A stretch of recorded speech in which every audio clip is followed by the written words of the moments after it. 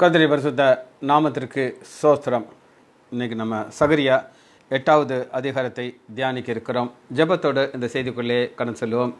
S என்னும் திருநாம தேர்க்கு எப்போதுமே மிக சோஸ்திரம். இயேசு என்னும் திரு நாமத்திற்கு எப்போதுமே மிக சோஸ்திரம். வானிலும் புவிலும் மேலான நாமம் வல்லமையல நாமமது வானிலும் புவிலும் மேலான நாமம் வல்லமையல நாமமது. துயர் சொல்லி துதித்திடும் நாமமது. துயர் சொல்லி துதித்திடும் நாமமது. இயேசு என்னும் திரு நாமத்திற்கு எப்போதுமே மிக சோஸ்திரம் வேதாளம் பாதாளம் யாவையும் ஜெயித்து வீரமுள்ள திருநாமமது. வேதாளம் பாதாளம் யாவையும் ஜெயித்த வீரமுள்ள திருநாமமது. நாமம் வென்றிடுவோம் அந்த நாமத்திலே. நாமம் வென்றிடுவோம் அந்த நாமத்திலே. இசு என்னும் திருநாமத்திற்கு எப்போதுமே மிக சோஸ்திரம். பாவத்திலே மாலும் பாவியை மீட்க பாரினில் வந்தமை நாமமது. பவத்திலே வாழும் பாவியை மீட்க பாரினில் வந்தமை நாமமது. பர லோகத்தில் சேர்க்கம் நாமமது. பர லோகத்தில் சேர்க்கம் நாமமது. இசு என்னும் திருநாமத்திற்கு எப்போதுமே மிக சோஸ்திரம். சஞ்சலம் தவிப்பு சோதனை நேரத்தில் தாங்கி நடத்திடும் நாமமது சஞ்சலம் தவிப்பு சோதனை நேரத்தில் தாங்கி நடத்திடும் நாமமது தடை முற்றும் அகற்றிடும் நாம நாமமது தாடை முற்றும் அகற்றிடும். நாமமது இசு என திரு நாம தேர்க்க எப்போதுமே மிக சோஸ்திரம். இயேசுவின் நாமத்தினாலே ஜபங்களும் பிதாவே ஆமேன். செல்வி டீச்சர் பிரைசலாட் ராஜேஷ் வாணி பாப்பா பிரைசலாட் கர்த்தர் நல்லவர். நம்ம சகரியா எட்டாவது அதிகாரத்தை நம்ம தியானிக்க இருக்கிறோம். இதுக்கு ஒரு தலைப்பு நீங்கள் போட்டுக்கலாம் உபவாசம் விருந்தாக மாறுகிறது. உபவாசம் விருந்தாக மாறுகிறது. அதுதான் தலைப்பு. ஏன் அப்படின்னு கேட்டிங்கன்னா இங்கே முந்தின அதிகாரம் ஏழாவது அதிகாரத்தில் உபவாசத்தை பார்த்தோம். அந்த உபவாசத்தின் மூலமாக ஜானகி அம்மாள் பிரைசலார் அந்த உபவாசத்தின் மூலமாக ஆண்டவர் இப்போ அவங்களுக்கு ஒரு பத்து வகையான ஆசீர்வாதங்கள் அல்லது வாக்குத்தத்தத்தை கொடுக்க இருக்கிறார். சரி இப்போ இதில் என்ன முக்கியமான ஒரு வார்த்தை அப்படின்னு கேட்டிங்கன்னா உங்களுக்கு நான் ஏற்கனவே சொன்னேன் ஆறாவது அதிகாரம் ஏழாவது வசனம் வர தரிசனங்களாக நம்ம பார்த்துக்கிட்டு வந்தோம். ஏழாவது ஆறாவது அதிகாரத்திலிருந்து ஒன்பதாவது வசனத்தில் பின்பு கர்த்தருடைய வார்த்தை எனக்கு உண்டாகி அப்படின்னு சொல்லி சகரியா சொல்ல ஆரம்பித்தார் ஏழாவது அதிகாரத்திலையும் கர்த்தருடைய வார்த்தை எனக்கு உண்டாகின்னு சொல்லி ஏழாவது அதிகாரம் நாலாவது வசனத்தில் இருக்குது. ஆனால் இந்த எட்டாவது அதிகாரத்தில் இதே தான் திரும்ப திரும்ப சொல்கிறார். எங்கெல்லாம் சொல்கிறார் அப்படின்னு கேட்டிங்கன்னா முதல் வசனம் ஆரம்பிக்கும் போதே பாருங்கள் எட்டாவது அதிகாரம் முதல் வசனம் சேனைகளினுடைய கர்த்தருடைய வார்த்தை உண்டாகி. இங்கே ஆண்டவருக்கு ஒரு நாமம் கொடுக்கப்பட்டிருக்குது. அது என்னதுன்னா சேனைகளின் கர்த்தர். இந்த சேனைகளின் கர்த்தர் அங்கிற ஒரு நாமம் எப்போ அது யூஸ் பண்ணுவாங்கன்னா ஒரு யுத்தம் வரும்பொழுது அந்த நாமம் உபயோகப்படும் அந்த யுத்தத்தில் ரெண்டு வகையான யுத்தமாக இருக்கலாம். ஒரு யுத்தம் direct Joyce Mary Rani sister பிரைஸ்லாட். ஒரு யுத்தம் எகிப்தியருக்கு செங்கடலை ரெண்டாக பிளந்ததில் ஒரு யுத்தத்தை நம்ம பார்த்தோம். அங்கே ஆண்டவர் சொல்கிறார் யுத்தம் என்னுடையதுங்கிறாரு. அங்கேயும் நீங்கள் அந்த நாமத்தை பார்க்கலாம். சேனைகளின் கர்த்தர்னு சொல்லி இங்கேயும் சேனைகளின் கர்த்தருங்கிற நாமம் வருகிறதுனா இது ஒரு ஆவிக்குரிய யுத்தம். ஆவிக்குரிய யுத்தம் அப்படின்னா என்ன அர்த்தம்னா தேசம் அன்றைய பிள்ளைகளை ஒரு பாடுகள் வழியாக கொண்டு போகிறது சுற்றி இருக்கிற தேசங்கள். ஆனால் ஆண்டவருக்கு இப்போ என்ன வருது அப்படின்னு கேட்டிங்கன்னா ரெண்டாவது வசனம் பாருங்கள் நான் சியோனுக்காக கடும் வைராக்கியம் கொண்டேன். அதற்காக மகா உக்கரமான வைராக்கியம் கொண்டேன். இந்த வைராக்கியம் உக்கரமான வைராக்கியம் அதை ஒரு யுத்தமாக மாற்றுகிறார். அந்த யுத்தம் நேராக யுத்தம் கிடையாது. த லார்ட் ஆஃப் ஹாஸ்ட் அழகாக போட்டிருக்க டீச்சர் வெரி குட் இதெல்லாம் எழுதிக்கோங்கம்மா இதெல்லாம் இங்கிலீஷ் வார்த்தைகள் ரொம்ப முக்கியமான வார்த்தைகள். அப்போ சுற்றி இருக்கிற தேசத்தை ஆண்டவர் என்ன மாதிரி ஒரு நியாய தீர்ப்பு கொடுக்க போகிறான்னு நம்ம பார்க்குறோம். ஜட்ஜ்மெண்ட் அவனுடைய கோபம் என்னதான் மாறின நியாய தீர்ப்பாக மாறப்போகிறது ரைட் ரெண்டாவது வசனத்தை வாசித்து பார்ப்போம். அங்கேயும் பாருங்கள் என்று சேனைகளின் கர்த்தர் சொல்லுகிறார். தரிசனம் கிடையாது சொல்லுகிறார். தன்னுடைய வார்த்தை. மூணாவது வசனத்தை வாசிப்போம். நான் சியோனுக்கு சியோனிடத்தில் திரும்பி எருசலேம் நடுவிலே வாசம் பண்ணுவேன். எருசலேம் சத்திய நகரம் என்றும் சேனலின் கர்த்தர் பிறந்து என்றும் அழைக்கப்படும் என்று கர்த்தர் சொல்லுகிறார். இதான் இது தரிசனம் கிடையாது. ஆண்டவர் சொல்லுகிறார். நல்லா கேட்டுக்கோங்க. தரிசனம் வேற. ஆண்டவர் வார்த்தையை சொல்கிறது வேறு. பிரேமா டிட்டோ அக்கா பிரைசலர். அப்போ ஆண்டவர் ஒரு சிலர்கிட்ட நான் இதை உங்களுக்கு சொல்லுவேன். இதை செய்வேன் அப்படின்னு வாக்கு தத்தம் கொடுக்குறார். அப்போ இந்த எட்டாவது அதிகாரம் முழுவதும் ஒரு உபவாசங்கிறது ஒரு விருந்தாக மாறுகிறது. இப்போ ஆண்டவர் ஒவ்வொன்றா சொல்லுகிறார். இப்படி இப்படி இப்படின்னு சொல்லி.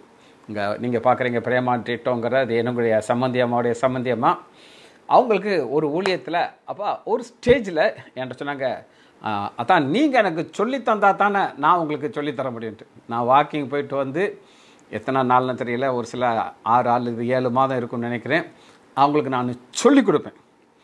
அப்புறம் இப்போ அவங்க ஒரு ஸ்டேஜில் மேலே போய் அவங்க என்ன செஞ்சிட்டாங்க? பல சபையில் போய் அவங்க செய்தி சொல்லுவாங்க. ஒரு தடவை என்கிட்ட அவங்க சொல்கிறாங்க தான் நீங்கள் அந்த முள்ளுகளுக்குள் லீலி புஷ்பம்ங்கிற ஒரு செய்தி சொன்னீங்களே அதையும் நான் இதையும் இணைத்து ஒரு செய்தி சொன்னேன்னு சொல்லி. சரிங்களா? நான் சொன்ன செய்தியை அவங்க மாடிஃபை பண்ணி சொல்கிறாங்க இது செய்தி ஆண்டோடைய வார்த்தை மக்களுக்கு போய் சேரணும். ஆனால் இது அப்படி கிடையாது. ஆண்டோடைய வார்த்தை ஒரு நபருக்கு வருது. அதனால தான் ரெண்டாவது மூணாவது தருங்க என்று கர்த்தர் சொல்லுகிறார். ஆண்டோடைய வார்த்தையில் ஒரு எழுத்து சொல்லியை கூட மாற்ற முடியாது. ரைட் இது மூணாவது வசனம். அடுத்து ஆறாவது வசனம் பாருங்க. சேனலின் கர்த்தர் சொல்லுகிறது இன்னதென்றால் இன்னும் சொல்லி அதை விளக்குறார். அப்போ ஆண்டோடைய வார்த்தை வேற தரிசனம் வேறு. ஒன்பதாவது வசனத்தை வாசிக்கிறேன் உங்களுக்கு. சேனைகளுடைய கர்த்தர் வீடாகும் ஆலயம் கட்டப்படும்படிக்கு அதன் ஆஸ்திபாரம் போட்ட முதற்கொண்டு தீர்க்கதரிசன உங்கள் கைகள் திடப்பட கடவுது என்று சேனைகளின் கர்த்தர் சொல்லுகிறார். இந்த சொல்லுகிறாருங்கிறத திரும்ப திரும்ப இந்த எட்டாவது அதிகாரத்தில் ஒரு பத்து முறை வருது. நீங்கள் வேணால் கணக்கு போட்டு பாருங்கள் பத்து முறை வருது. பத்துங்கிறது ஒரு பூரணம். முதல் வசனத்துலேருந்து இங்கே கணக்கு போட்டு பார்க்கணும். அடுத்து பதினாலாவது வசனத்தை உங்களுக்கு நான் வாசிக்கிறேன்.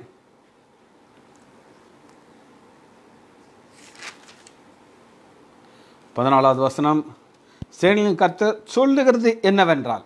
சரிங்களா ஜெபந்தி அம்மாள் பிரைசலாட் ஜெயந்தி அக்கா எங்கள் சம்மந்தி அம்மா பிரைசலாட் அப்போ தரிசனம் வேறு. இந்த ஒரு அதிகாரத்தில் மட்டும் கர்த்தர் சொல்லுகிறாருங்கிறது ஒரு பத்து முறை வருது. இப்போ நான் உங்களுக்கு பதினாலாவது வசனத்தை காமிச்சிட்டேன். அடுத்து பதினெட்டாவது வசனத்தை உங்களை காட்டுறேன். சேனைகளுடைய கர்த்தர் வார்த்தை எனக்கு உண்டாகி அவர் பத்தொன்பது வசனம் முடிங்கிற என்று சேனையின் கர்த்தர் சொல்லுகிறார். திரும்ப திரும்ப சொல்லுகிறேன் சேனைகளின் கர்த்தர் அப்படின்னு சொன்னான்னா அவர் லார்ட் ஆஃப் ஹோஸ்ட் ஜெபந்தி அம்மா அழகா அந்த அந்த தலைப்பிலேயே ஆண்டுடைய நாமத்தில் வச்சு ஆண்டவரை ஒரு மகிமைப்படுத்துகிறாங்க. இன்றைக்கி நமக்காக யுத்தம் பண்ணுகிறார். அன்னைக்கு புறஜாதியர்களுக்காக ஒரு கடும் வாயிராக்கியத்தோடு ஆண்டவர் அவங்களுக்கு யுத்தம் பண்ணினார். இருபதாவது வசனத்தை நான் வாசிக்கிறேன். இன்னும் ஜனங்களும் அநேக பட்டணங்களும் குடிகளும் வருவார்கள் என்று சேனைகளின் கர்த்தர் சொல்லுகிறார். அவர் சொன்னார்னா சொன்னது தான் அது மாறாது. அவர் வாக்கு மாறாதவர். அவர் பொய் உரைக்கிற தேவன் அல்ல. ரைட் இருபத்தி மூணாவது வசனத்தில் கடைசியாக ஒரு வார்த்தையை பார்க்குறோம். அந்நாட்களிலே பலவிதமான பாஷைக்காரர்களாகிய புறஜாதியார் பத்து மனுஷர்கள் ஒரு யூதனுடைய தொங்கலை பிடித்துக்கொண்டு தேவன் உங்களோடு இருக்கிறார் என்று கேள்விப்பட்டோம். ஆகையால் உங்களோடு போவோம் என்று சொல்லி அவனை பற்றி கொன்றுவார்கள் என்று சேனைகளின் கர்த்தர் சொல்லுகிறார் என்றார். இதெல்லாம் ஏன் திரும்ப திரும்ப வருதுன்னா இதெல்லாம் சொன்னார்னா சொன்னதான். சரி ஒரு சின்ன ஒரு நியூஸ் நாளைக்கு ஒரு வேளை நான் வர முடியாத ஒரு சூழ்நிலை இருக்கும். எனக்கு ஒரு முக்கியமான ஒரு வேலை இருக்குது. ஆனால் அதுலேயும் ஒரு சின்ன ஒரு கொஸ்டின் மார்க் இருக்குது. ஸோ நாளைக்கு நான் வெளியூர் போயிட்டானா என்னால் செய்தி கொடுக்க முடியாது. அப்படி அதை நான் ஊரில் இருந்தால் கட்டாயம் மெசேஜ் கொடுத்துருவேன். ஆனால் வெளியூர் போக வேண்டிய சூழ்நிலை எனக்கு ஒன்று இருக்கிறது. அது பார்த்துக்கொள்ளும். ஆண்டவர் அதை அனுமதிக்கிறாரா இல்லையான்னு பார்ப்போம். சரி. முதல் பாயிண்ட் நம்பர் ஒன் எழுதிக்கோங்க. பரலோக தண்டனை டிவைன் பனிஷ்மெண்ட் ப்ராமிஸில் முதல் வாக்கு தத்துவமே என்னதுன்னா தண்டனை. ஏன் தண்டனையை ப்ராமிஸ் அப்படின்னு சொல்கிறாங்கங்கிறத இப்போ நான் உங்களுக்கு விளக்கமாக சொல்ல போகிறேன். வாசிப்போமா? எட்டாவது அதிகாரம் முதல் ரெண்டு வசனத்தை நான் உங்களுக்கு வாசிக்க போகிறேன் மரியால் சிஸ்டர் பிரைஸ்லாட் எட்டாவது அதிகாரம் முதல் ரெண்டு வசனம். சேனலின் கர்த்தருடைய வார்த்தை எனக்கு உண்டாகி நான் சியோனுக்காக கடும் வாராக்கியம் கொண்டேன் அதற்காக மகா உக்கரமான வைராக்கியம் கொண்டேன் என்று சேனைகளின் கர்த்தர் சொல்லுகிறார். சரி இந்த வைராக்கியம் அது எங்கேருந்தே ஆரம்பிக்குது அப்படின்னு கேட்டிங்கன்னா முதல் அதிகாரம் சகரியா முதல் அதிகாரம் பதினாலாவது வசனம் பாருங்க. அப்பொழுது என்னோடு பேசின தூதன் என்னை நோக்கி சேனலின் கர்த்தர் உரைக்கிறது என்னவென்றால் நான் எருசலேமுக்காகவும் சியோனுக்காகவும் மகா வைராக்கியம் கொண்டிருக்கிறேன். சரி அது என்ன வைராக்கியம் அப்படின்னு நம்ம பார்க்க போகிறோம் வைராக்கியத்தில் ரெண்டு வகையான வைராக்கியம் இருக்குதுங்க. ரெண்டு வகையான வைராக்கியம். ஒன்று ஆண்டவர் நம்மேல் வைத்திருக்கிற வைராக்கியம். இன்னொன்று ஆண்டோடைய பிள்ளைகள் அவர் மேலே வைத்திருக்கிற வைராக்கியம். ரெண்டுமே முக்கியமானது. இது ரெண்டுமே இணைந்து தான் போகணும். ஒருத்தருக்கு மாத்திரம் வைராக்கியம் இருந்து பிரயோஜனம் கிடையாது. சரி.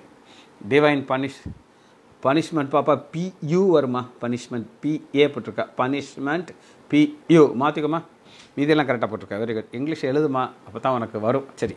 இப்போ உன்னத பாட்டு எட்டாவது அதிகாரம் ஆறாவது வசனத்தில் பார்க்குறோம் நான் உங்களுக்கு சொன்னேன் வைராக்கியத்தில் ஒரு வைராக்கியம் ஆண்டவர் நம்ம மேலே இஸ்ரேல் தேசத்தின் மேலே இருக்கிற வைராக்கியம். ஆனால் நமக்கு என்ன வைராக்கியம் இருக்குன்னு சொல்லி எட்டாவது அதிகாரம் ஆறாவது வசனம் நீர் என்னை உமது இருதயத்தின் மேல் முத்திரையைப் போலவும் உமது புயத்தின் மேல் முத்திரையைப் போலவும் வைத்துக்கொள்ளும் நேசம் மரணத்தைப் போல் வலியது நேச வைராக்கியம். சரிங்களா இந்த நேச வைராக்கியம் எங்கேருந்து வரணும்? நம்ம இடத்துல தான் ஆண்டருக்கு வரணும். வைராக்கியம் பாதாளத்தைப் போல கொடியதானது. அதன் தளல் அக்னி தளலும் அதன் ஜுவாலை கடும் ஜுவாலயமாக இருக்குது. ஆண்டவர் மேலே வைராக்கியம் இருக்கிறது குறித்து ஒரு சின்ன ஒரு சம்பவத்தை சொல்லு. எப்பவுமே ஒரு செய்தியில் ஒரு சம்பவத்தை சொல்லும்போது அது உங்களுக்கு ஆழங்கள் புரியும். ஒரு பாஸ்டருக்கு ஆண்டவர் சொல்கிறாரு நீ குஷ்டரோகிகள் மத்தியில் போய் ஊழியம் செய்யணும் அப்படின்னு சொல்கிறார் அந்த குஷ்டரோகிகள் எங்கே இருக்காங்க அப்படின்னா ஒரு தீவுகளில் அவங்கள கவர்மெண்ட் தூக்கி போடுறாங்க. அவங்களுக்கு வாரத்துக்கு ஒருக்கா ஒரு போட்டில் சாப்பாடு வரும். அந்த சாப்பாடை சாப்பிட்டு அவங்க இருப்பாங்க. இவர் அங்கே போய் சுவிசேஷத்தை சொல்ல போகிறாரு அவங்களுக்கு பயங்கர கோவம் வந்து கல்லவுட் எரிய வர்றாங்க. ஏய் என்னடா அவங்க இயேசு பெரிய இயேசுங்கிறீங்க? நாங்கள்லாம் குஷ்டரோகியாக பாரு எங்கள் கையில் விரலெல்லாம் போயிடுச்சு நாங்கள் இந்த மாதிரி தனியாக இருக்கிறோம். எங்கள் பொண்டாட்டி பிள்ளைகள்லாம் பார்க்க முடியல. கிட்ட வந்தால் கொன்னே விடும் அப்படின்னு சொல்லி. அவர் ஒரு சின்ன குடிசையை போட்டுட்டு அவர் கொஞ்சம் ஆகாரத்தை வச்சு சாப்பிட்டுட்டு ஜோ பண்ணிகிட்டே இருக்கார். அண்டவரே நீங்கள் என்னை அங்கே அனுப்புனீங்க. இவங்கெல்லாம் ரட்சிக்கப்படணும்னு சொல்லி. ஆனால் என்னால் எதுவுமே சொல்ல முடியலையே. ஆண்டவரே ஏதாவது ஒன்று செய்யுங்க. உங்கள் அன்பை அவங்க மேலே காட்டுறதுக்கு ஏதாவது ஒன்று செய்யுங்க ஆண்டவரே. அவங்க என்னை ஏற்றுக்கொள்ளணும். உங்களை ஏற்றுக்கொள்ளணும். அதுக்கு நான் எதுனாலும் விலைக்கரையம் கொடுக்க ரெடியாக இருக்கேன் அப்படின்னு சொல்லி செல்வி டீச்சர் கரெக்டாக போட்டிருக்கோமா? டிவைன் பனிஷ்மெண்ட் வெரி குட் ஏமா இங்கிலீஷ் வார்த்தைகளெல்லாம் நீங்கள் கரெக்டாக எழுதுனீங்கன்னா அது பெரிய ஆசீர்வாதம். சரி வெரி குட் ரெண்டு பேரும் நல்லா போட்டீங்க. அப்போ அப்படி அவர் ஜோ பண்ணிகிட்டே இருக்கார் ஜோ பண்ணிகிட்டே இருக்கார். ஒரு நாள் ஒரு கண்ணாடியில் பார்க்குறாரு அவருடைய நெத்தியில் ஒரு குஷ்டரோக அடையாளம் தோன்றிடுச்சு. அவருக்கு ஒரே சந்தோஷம். குஷ்டரோகம் வந்துருச்சு. எனக்கு இனி அவங்க என்ன செய்ய முடியாது? என்ன இல்லைன்னு சொல்ல முடியாதுன்ட்டு திரும்பவும் அவங்களுடைய மத்தியில் போகிறாரு அவங்க டேய் சொல்லியாச்சு. திரும்ப வந்தால் உன் மண்டையை பிளந்துரும் பார்த்துக்கொண்டு கல் எடுக்கிறாங்க. அவர் உடனே சிரிச்சுக்கிட்டே சொல்கிறாரு அப்பா என் நெத்தியை பாருங்கப்பா. என் நெத்தியில் குஷ்டரோகம் வந்துருச்சு. இப்போ நம்ம எல்லாம் ஒன்று இப்போ என்ன என்ன செய்யாத? நீங்கள் பிரித்து பேச முடியாது. அப்படின்ட்டு. கல்லெல்லாம் தூக்கி கீழே போட்டுட்டு ஓடி வந்து அவரை கட்டி பிடிச்சிக்கிட்டாங்க. என்னையா இது? குஷ்டரோகம் வர்றவங்கிற காண்டி அங்கேருந்து இங்கே வந்தையா எங்கள் மேலே உனக்கு அவ்வளவு அன்பா? அப்படின்னு சொல்லி அத்தனை பேரும் ஆண்டவரை ஏற்றுக்கிட்டாங்க. நல்லா கேட்டுக்கோங்க. நமக்கு ஆண்டவர் மேலே ஒரு வைராக்கியம் இருக்கணும். அந்த வைராக்கியம் அவர் நம்ம மேலே ஒரு வைராக்கியம் அது மாறும். அதனால தான் உன்னத பாட்டு எட்டாவது அதிகாரம் ஆறாவது வசனம் நீர் என்னை உமது இருதயத்தின் மேல் முத்திரையைப் போலவும் உமது புயத்தின் முத்திரையைப் போலவும் வைத்துக்கொள்ளும் நேசம் மரணத்தைப் போல் வலியது. நேச வைராக்கியம் பாதாளத்தை போய் கொடுது. அதன் தளல் அக்னி தளலும் அதன் ஜுவாலை கடும் ஜுவாலையுமாயிருக்கிறது. ரைட் இது ஒரு கான்செப்ட் சரி. ஆண்டவருக்கு புறஜாதியார் மேலே கோபமும் அவர் பேல் பிள்ளைகள் மேலே அன்பும் வர்றதுக்கு காரணம் என்ன அப்படின்னு நீங்கள் கேட்டிங்கன்னா அதற்கு ஒரு அடிப்படையான ஒரு வசனம் இருக்குது இந்த வசனத்தின் மூலமாகத்தான் ஆண்டவர் என்ன செய்கிறாரு தன் பிள்ளைகளை நேசிக்கிறார். வசிப்போமா? ஆதியாகமும் பன்னிரெண்டாவது அதிகாரம் ரெண்டாவது வசனத்திலேருந்து இது ஆப்ரஹாமுக்கு கொடுத்த வாக்கு தத்தம் சரி அது என்னென்ன பார்ப்போம். நான் உன்னை பெரிய ஜாதியாக்கி உன்னை ஆசீர்வதித்து உன் பேரை பெருமைப்படுத்துவேன். நீ ஆசீர்வாதமாய் இருப்பாய். அடுத்து பாருங்க. உன்னை ஆசீர்வதிக்கிறவர்களை ஆசீர்வதிப்பேன். உன்னை சபிக்கிறவர்களை சபிப்பேன். இங்கே தான் ஆண்டவருடைய ஒரு ஒரு வாக்கு தத்துவத்தில் மாட்டியிருக்கு. இப்போ ஆண்டவர் சொல்லிட்டாரு ஆபிரகாம யார் யாரெல்லாம் ஆசீர்வதிக்கிறாங்களோ அவளை நான் ஆசீர்வதிப்பேன். யார் யாரெல்லாம் சபிக்கிறாங்களோ அவளை நான் சபிப்பேன். இந்த சபிக்கிறவங்க புறஜாதியார் சபிக்கிறாங்க. புறஜாதியார் சபிக்க சபிக்க சபிக்க தம்பி எபனேசர் பிரைசலாட் அந்த புறஜாதியார்களுக்கு மேலே ஒரு நியாயத்தீர்ப்பு வருது. அதைத்தான் ஆண்டவர் ஒரு கடும் கோபம்னு சொன்னார். அந்த வைராக்கியத்தை தான் நம்ம ஏற்கனவே பார்த்தோம். சகரியா முதலாவது அதிகாரம் பதினாலாவது வசனத்தில் மகா வைராக்கியம் கொண்டிருக்கிறேன்னு சொல்லிட்டு அடுத்து பதினஞ்சாவது வசனத்தை வாசி பாருங்க. நான் கொஞ்சம் கோபம் கொண்டிருக்கும் பொழுது. அந்த கோபம் அவருடைய பிள்ளைகள் மேலே இருந்துச்சு. இஸ்ரேல் மக்கள் விக்ரத்திட்ட போயிட்டாங்க. வானராக்கிக்கு தூபம் காட்டிகிட்டு இருந்தாங்க. வீடுகள்லேருந்து அக்னி தூபம் காட்டிகிட்டு இருக்காங்க. அதனால் அவனுடைய கோபம் வந்துச்சு. எரேமியா மூலம் சொன்னார் கேட்க மனசில்லை அவங்களுக்கு. அவங்க ஒரு தெருவுக்கு ஒரு கடவுள் ஒரு ஊருக்கு ஒரு கடவுள் தெருவுக்கு ஒரு வீதிக்கு ஒரு கடவுள்னு சொல்லி கும்பிட்டுட்டு இருக்காங்க. அவனுடைய கோபம் வந்து நான்கு வகையான வாதைகளை அனுப்பி அவர்களை எழுபது வருஷம் பாபிலோனில் அடிமையாக வைத்திருந்தார். அந்த நேரத்தில் அந்த புறஜாதியர்கள் ஆண்டோடைய பிள்ளைகளை மிக மிக மிக துஸ்- துன்பப்படுத்துனாங்க. அதனால தான் நான் கொஞ்சம் கோபம் கொண்டிருந்த பொழுது அவர்கள் தங்கள் கேட்டை அதிகரிக்க தேடினபடினாலே சுகமாய் வாழ்கிற புறஜாதியார் பேரிலே நான் கடும் கோபம் கொண்டேன். அந்த கடும் கோபத்தை தான் எட்டாவது அதிகாரத்தில் ஆண்டவர் சொல்லுகிறார். என்ன சொல்லுகிறார்னா நான் ஒரு நியாயம் தீர்க்கப் போகிறேன். நான் கடும் வைராக்கியம் கொண்டிருக்கிறேன் அப்படின்னு சொல்லி அந்த கடுமையான வைராக்கியத்தை ஆண்டவர் சொல்லுகிறார். அதை தான் எட்டாவது அதிகாரம் ரெண்டாவது வசனத்தில் நான் சியோனுக்காக கடும் வைராக்கியம் கொண்டேன் அதற்காக மகா உக்கரமான வைராக்கியம் கொண்டேன் என்று சேனையில் கர்த்தர் சொல்லுகிறார். சரி இது நியாயத்திற்பு ஜட்ஜ்மெண்ட் ரெண்டாவது ஆசீர்வாதம் point number two divine presence பரலோக பிரசன்னம். சரிங்களா? ஒரு பக்கம் தண்டனை புறஜாதியாக இருக்குது ஆண்டோடைய பிள்ளைகளுக்கு பரலோக பிரசன்னம். ஹீதன் எஸ் ஹீதன்கிறது புறஜாதியாருக்கு டீச்சர் போட்டிருக்காங்க. வெரி குட் இப்போ பரலோக பிரசன்ஸ் என்றது என்னன்றது மூணாவது வசனத்தில் நான் உங்களுக்கு காட்டுறேன். எட்டாவது அதிகாரம் மூணாவது வசனம். நான் சியோனுக்கு திரும்பி எருசலேம் நடுவே வாசம் பண்ணுவேன். இதாங்க. ஆண்டவர் வந்து இவங்களை வந்து ஒரு தண்டனை கொடுத்து அனுப்பிட்டார். இப்போ இவங்க பள்ளத்தாக்கில் இருக்கிறாங்க. பள்ளத்தாக்கில் இருக்கிற மக்களுக்கு ஒரு வாக்குத்தத்தம் கொடுக்குறார். இதை விட ஒரு பெரிய வாக்குத்தத்தம் கிடைக்குவாங்க பாருங்களேன். நான் சியோனுக்கு திரும்பி எருசலேம் நடுவிலே வாசம் பண்ணுவேன். எருசலேம் நகரம் இன்றும் சத்திய நகரம் என்றும் சேனைகளின் கர்த்தரின் பர்வதம் என்றும் பரிசுத்த பர்வதம் என்றும் அழைக்கப்படும் என்று கர்த்தர் சொல்லுகிறார். என்ன அருமையான வாக்குத்தத்தம் பாருங்கள் சேனைகளின் கர்த்தரின் பர்வதம் பரிசுத்த பர்வதம் என்றும் அழைக்கப்படும். இதாங்க. ரைட் இது என்னன்னு நம்ம பார்க்க போகிறோம் இப்போ ஆண்டவர் ஒரு காலத்தில் என்ன நடந்தது அப்படின்னு கேட்டிங்கன்னா ஆதியாகமம் நம்ம பார்க்க போகிறோம்.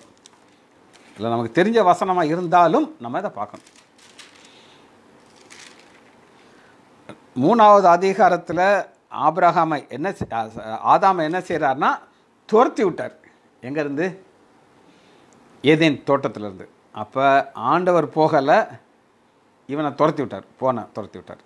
ஆனால் இப்போ உறவு கட்டாயிருச்சு. ஆனால் என்ன நடந்தது அப்படின்னு கேட்டிங்கன்னா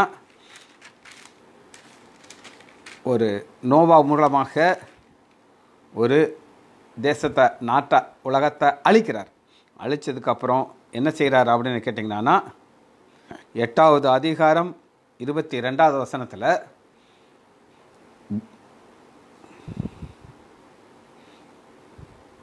இருபத்தி ஓராசனம் சுகந்த வாசனையை கர்த்தர் முகந்தார். புரியுதாங்க? இப்படி ஆண்டவருக்கும் மக்களுக்குள்ள ஒரு கேப்பை கூடி கூடி கூடி இப்போ ஒன்று சாமுவேலுக்குள்ள வரும். நிறைய காரியங்கள் நம்ம இங்கே இது நம்முடைய செய்தியில் இருந்தாலும் தேவனுக்கும் மனிதனுக்குள்ள உறவு எப்படி வருதுன்னு உங்களுக்கு நான் காட்டப் போகிறேன். ஆண்டவர் இஸ்ரேல் தேசத்தை விட்டுட்டு போய்விட்டார். எப்படி போனார் அப்படின்னு கேட்டிங்கன்னா ஒன்று சாமுவேல் நாலாவது அதிகாரம் இருபத்தி ஓராவது வசனம். ஒன்று சாமுவேல் நாலாவது அதிகாரம் இருபத்தி ஓராவது வசனம். என்ன நடந்ததுன்னா பிலிஸ்தீன் யுத்தத்துக்கு வர்றாங்க. இவங்க என்ன நினைக்கிறாங்கன்னா அந்த உடன்படிக்கை பெட்டிக்குள்ள ஆண்டவர் இருக்கார் அப்படின்னு அவங்க நினச்சிக்கிட்டு அந்த உடன்படிக்கை பெட்டியை யுத்தத்துக்கு கொண்டு போகிறாங்க ஆனால் ஆண்டவர் அதுக்குள்ளே இருக்க மாட்டார். அவருக்கு இவங்க செய்கிற பாவத்தினால அதை விட்டுட்டே போயிட்டார் ஓடியே போயிட்டார். அது போனதை எப்படி அவங்க புரிஞ்சுக்கிட்டாங்கன்னா முத எதிரிகள் நினச்சாங்க ஐயோ கடவுளே வந்துட்டாரு நம்ம போச்சு அப்படின்னு நினச்சாங்க. ஆனால் யுத்தத்தில் அந்த பெட்டி பிடிபட்டது.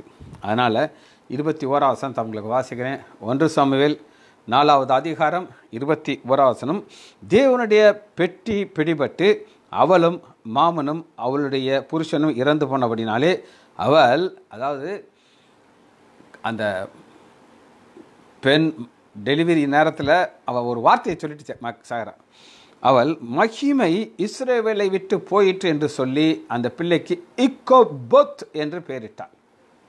இக்கோபொத் அப்படின்னா என்னன்னா தேவனுடைய மகிமை இஸ்ரேல் தேசத்தை விட்டுட்டு போயிடுச்சு அந்த குழந்தைக்கு அந்த பேரை வச்சுட்டு அதை மறிச்சு போயிடும் ரைட்.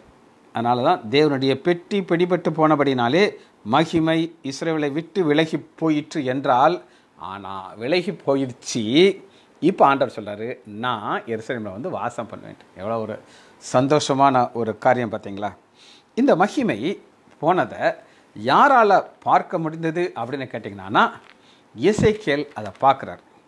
மகிமை போகிறத பார்க்குறாரு மகிமை வர்றதையும் அவரால் பார்க்க முடியுது. ஒன்று சாமுவேலில் மகிமை இஸ்ரேல் தேசத்தை விட்டு போயிருச்சு.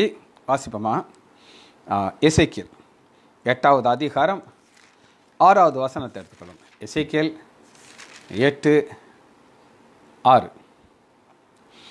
அவர் என்னை நோக்கி மனுபுத்திரனே அவர்கள் செய்கிறதை காண்கிறாயா? என் பரிசுத்த ஸ்தலத்தை விட்டு என்னை தூரமாக போகும்படியாக. இதை நீங்கள் கவனமாக வாசிக்கணும். இப்போ ஒரு கோயில் இருக்குது அங்கே ஒரு விக்கிரகம் இருக்கும். அந்த விக்கிரகத்திற்கும் அந்த விக்கிரம் அங்கே தான் இருக்கும். அது போகாது. யாராவது களவான்ட்டு போனால் தான் அது போகும். வெரி குட் டிவைன் ப்ரசன்ஸ் அழகாக போட்டிருக்கம்மா. செல்வி டீச்சர் நல்லா போட்டிருக்கீங்க. அப்போ அந்த விக்கிரகத்தை யாராவது திருடி திருடி கொண்டு போனால் தான் அது அங்கே விட்டு போகும். இல்லைன்னா அது அதை விட்டு போகாது. ஆனால் ஆண்டவர் அவருடைய ஆலயத்தில் அவருடைய இஸ்ரேல் ஜனங்கள் பாவம் செய்யும் போது அவர் போயிடுவார். அதான் வித்தியாசம். புரியுது? ரெண்டு வித்தியாசம் நல்லா புரிஞ்சுக்கணும்.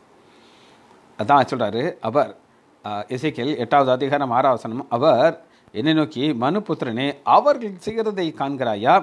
என் பரிசுத்த ஸ்தலத்தை விட்டு என்னை தூரமாக போகும்படியாக.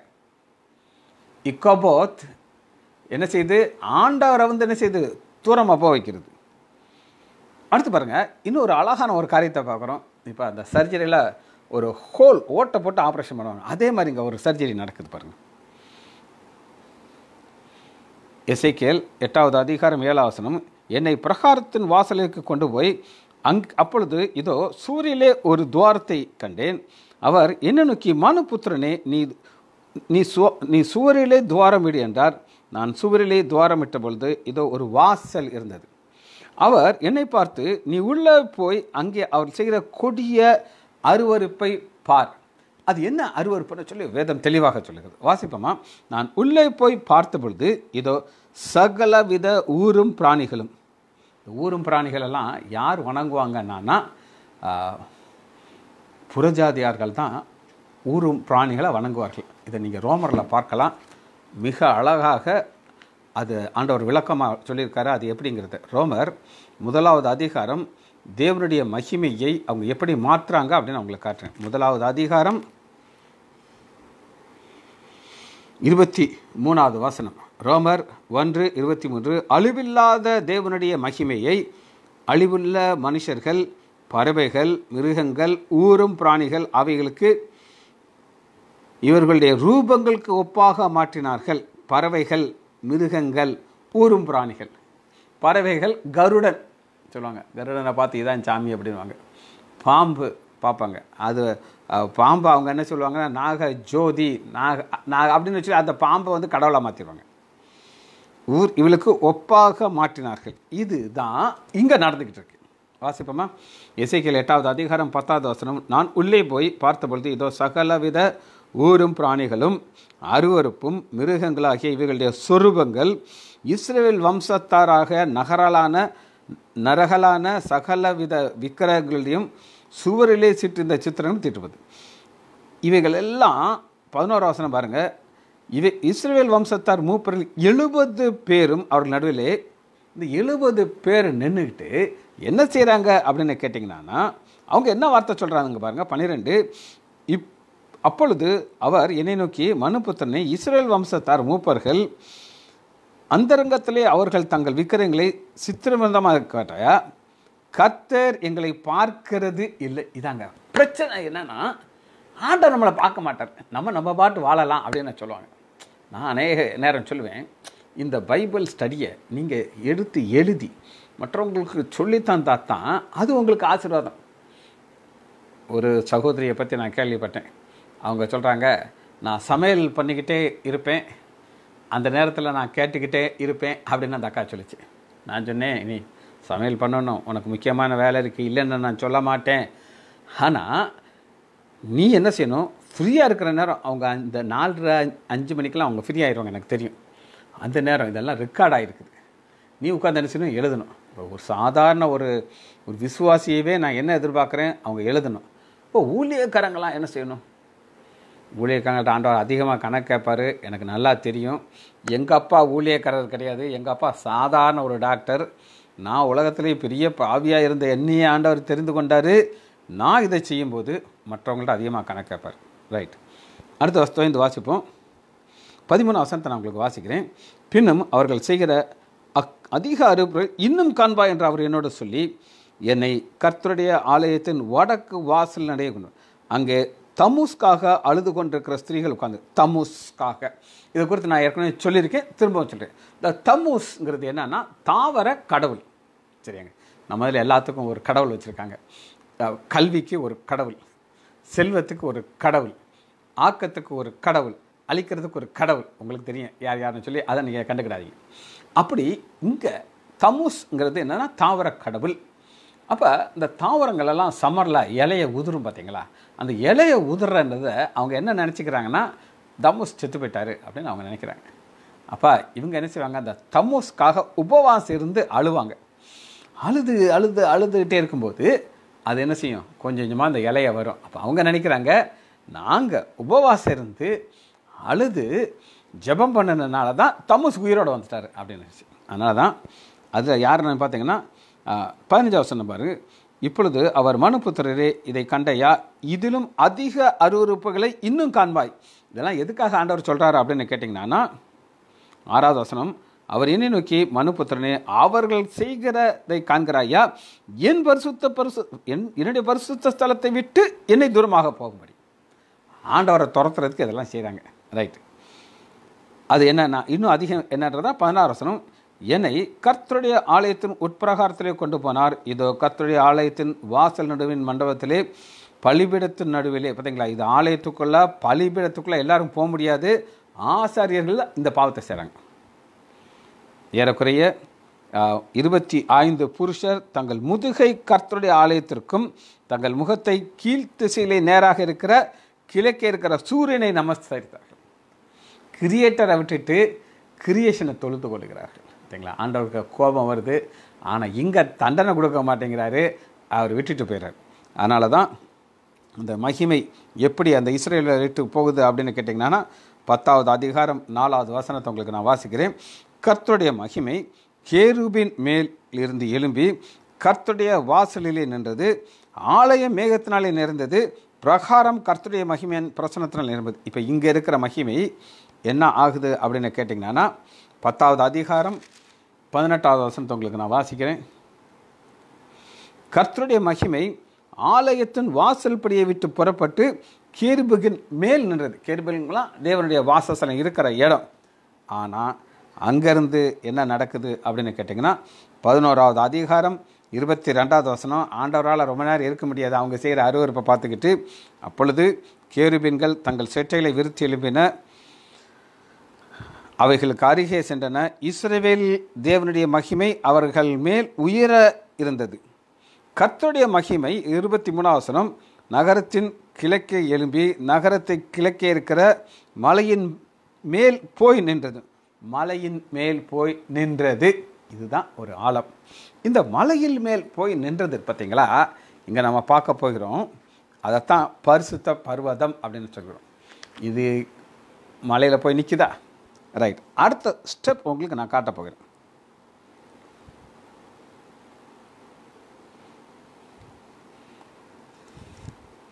இசைக்கியல்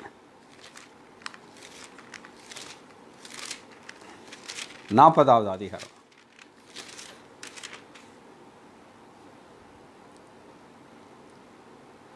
மூணாவது வசனம். அங்கே அவர் என்னை கொண்டு போனார். இதோ அங்கே ஒரு ஒரு புருஷன் இருந்தார் அவர் தோற்றம் வெண்கலமாக இருந்தது அவர் கையிலே சனல்கர் இங்கே ஆண்டவராகிய இயேசு கிறிஸ்துவை நீங்கள் பார்க்கலாம். அவர் திரும்ப என்ன செய்ய போகிறார்? உள்ளே வரப்போகிறார். எதுக்குள்ளே வரப்போகிறார் அப்படின்னு கேட்டிங்கன்னா நாற்பத்தி நாலாவது அதிகாரம் இயேசைக்கள் நாற்பத்தி நாலாவது அதிகாரத்தில் பின்பு அவர் என்னை கிழக்கு இருக்கிற எதிரே இருக்கிற பரிசுத்த ஸ்தலத்துக்கு புற வாசல் வழியாக திரும்ப பண்ணினார் அது பூட்டி இருந்தது இது என்ன அப்படின்னு கேட்டிங்கன்னா இஸ்ரேல் தேசத்தில் கிழக்கு வாசல் அப்படின்னு ஒரு வாசல் இருக்குது அந்த வாசல் வழியாகத்தான் நல்லா கேட்டுக்கோங்க. ஆண்டவராகிய இயேசு கிறிஸ்து ஓசன்னா அப்படின்னு பாடிட்டு உள்ளே போனார். சிலுவையில் மறிக்கிறார் அவர் போனதுக்கப்புறம் அந்த வாசலை அடைச்சிடுறாங்க. அப்படி தான் பைபிளில் இருக்குது இது இன்றைக்கும் அந்த கிழக்கு வாசல் மூடப்பட்டிருக்கு. ஒரு சுல்தான் அப்படின்னு சொல்லி ஒரு புறஜாதியான் ஒருத்தன் இஸ்ரேல் தேசத்தில் எருசலேமை கைப்பற்றிட்டான். கைப்பற்றி ஜெயிச்சதுக்கப்புறம் அவன் கேட்டான் ஏன் ஏன் அது பூட்டி இருக்குது? அப்படின்னு சொல்லி. இது வழியாக ஆண்டவராகி இயேசு கிறிஸ்து உள்ளே போனார். பவனியாக எசிக்கல் நாற்பத்தி நாலாவது அதிகாரத்தில் அவர் ரெண்டாவது வரும்பொழுது தான் அந்த கேட்டை திறக்கும். அதுவரை யாரும் திறக்கக்கூடாது திறக்க முடியாது அப்படின்னு பைபிளில் இருக்குது அவர் நான் பெரிய பிஸ்து நான் இதை திறந்து காட்டுறேன் அப்படின்னு சொல்லி அவன் சொன்னார். சொல்லிவிட்டு நாளை காலையில் பாரு இதை நான் திறக்க போகிறேன்னு சொல்லி. ஆனால் நைட்டே அவருடைய தேசத்துக்கு யுத்தம் வந்துருச்சு. யுத்தம் வந்த உடனே இவர் இப்போ கதவை திறக்கிற வேலையை விட்டுட்டு நேராக அவர் தேசத்துக்கு போனார். அங்கே யுத்தத்தில் அவர் தோத்தார் அவளை கொலை செய்துட்டாங்க. அந்த அளவுக்கு தேவனுடைய மகிமையை குறித்து வேதம் திட்டமாக சொல்லுது. இப்போ வாசிக்கிட்டவங்களுக்கு இசைக்கல் நாற்பத்தி நாலாவது அதிகாரம் முதலாவசனம் பின்பு அவர் என்னை கிழக்கு எதிரே பரிசுத்த ஸ்தலத்திற்கு புறவாசல் பூட்டி இருக்கிறதை திரும்ப பண்ண அது பூட்டி இருந்தது இயேசு கிறிஸ்து உள்ளே பண்ணோன்னு அதை பூட்டிட்டாங்க. அப்பொழுது கர்த்தர் என்னை நோக்கி இந்த வாசல் திறக்கப்படாமல் பூட்டி இருக்கும். இதை சொன்னால் மக்கள் ஒத்துக்கிட மாட்டாங்க. ஆனால் அவன் வாழ்க்கையை முடிச்சிட்டார். இந்த வாசல் திறக்கப்படாமல் பூட்டி இருக்கும் ஒருவரும் இதற்குள் பிரவேசிப்பதில்லை. இஸ்ரேலின் தேவனாகிய கர்த்தர் இதற்குள் பிரவேசித்தார். ஆகியால் இது பூட்டப்பட்டிருக்கும். இந்த வாசல் பூட்டப்பட்டிருக்கும். ஆனால் கிழக்கே இருக்கிற ஒளிவ மலைக்கு ஆண்டருடைய மகிமை இறங்கி வரப்போகிறது. அதை வாசிப்போமா? இசைக்கில் நாற்பத்தி ரெண்டாவது அதிகாரம் ரெண்டாவது வசனம். மகிமை எப்படி இஸ்ரேவேலுக்கு திரும்ப வந்துச்சு? நாற்பத்தி ரெண்டு ரெண்டு வாசிக்கிறவங்களுக்கு இசைக்கல் நாற்பத்தி ரெண்டு ரெண்டு.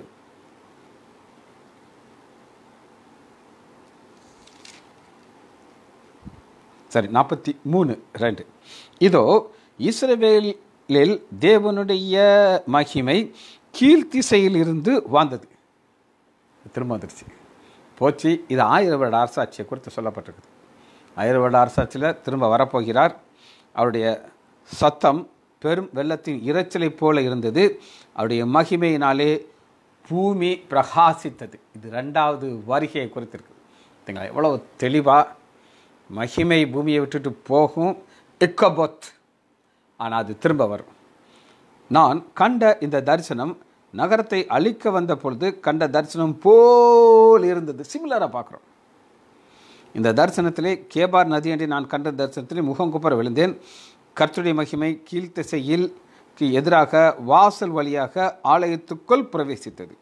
அப்பொழுது ஆவி என்னை கொண்டு போய் உட்பிரகாரத்திலே கொண்டு போய் விட்டது. இதோ கர்த்தருடைய மகிமை ஆலயத்தை நிரம்பிட்டு. ஒன்று சாமுவேல் நாலாவது அதிகாரத்தில் இக்கபோத் தேவனுடைய மகிமை இஸ்ரேலை விட்டு போயிடுச்சு மகிமை திரும்ப வந்துருச்சு. காரணம் என்ன? இது ஆயிரம் வருட அரசாட்சியில் நடக்கக்கூடிய ஒரு சம்பவம். அவர் ஆலயத்தில் என்னோடு பேசுகிறதை கேட்டேன். அந்த புருஷன் என்னடே நின்றார். அவர் என்னை நோக்கி மனுபுத்திரனே நான் இஸ்ரேல் புத்திரருக்கு நடுவே என்றென்றைக்கும் வாசம் பண்ணும் என் சிங்காசனம் என் பாதபிடமும் ஸ்தானிக்கிறது அதைத்தான் நம்ம இங்கே பார்க்குறோம். எட்டாவது அதிகாரம் சகரியா எட்டாவது அதிகாரம் மூணாவது வசனத்தில் ஆண்டவர் இதை ப்ராமிஸாக கொடுக்குறார். எப்படி கொடுக்குறாரு பாருங்க பார்ப்போம் இந்த வசனத்தை வாச்சு நம்ம அந்த செய்தியை முடிக்கப் போகிறோம். நான் சியோனிடத்திலே திரும்பி இக்கபாத் போனது திரும்ப வருது. திரும்பி எருசலேம் நடுவிலே வாசம் பண்ணுவேன். இது ஆயிரம் வருட அரசாட்சியில் நடக்கக்கூடிய காரியம். எருசலேம் சத்திய நகரம் என்றும் சேனைகளின் கர்த்தரின் பர்வதம் பரிசுத்த பர்வதம் என்றும் அழைக்கப்படும் என்று கர்த்தர் சொல்கிறார். ஜெபிச்சு முடிப்போமா? மகா இரக்கமம் கருபேமல்ல பிதாவே துதிக்கிறோம் ஐயா ஒரு உபவாசம் ஒரு பண்டிகையாக ஒரு மகிழ்ச்சியாக மாறப்போகிறதுக்காக நன்றி ராஜா. இந்த வாக்கு தத்துவங்களை நீர் எங்களுக்கு தந்திருக்கிறீர் ஐயா. வாக்கு தந்தவர் வாக்கு மாறாதவர் ஐயா. எங்களை நெறி மட்டும் ஆசீர்வதிக்கிறீர் ஐயா. வழி நடத்துகிறீர் ஐயா. காக்கிறீர் ஐயா. பிள்ளைகள் ஒவ்வொரு வரையும் என்னாடவராகிய இயேசு கிருஷ்ணன் நாமத்தினாலே ஆசீர்வதிக்கிறேன் அப்பா. இயேசுவே நாமத்தினால் ஜெபங்கள். பிதாவே ஆமென்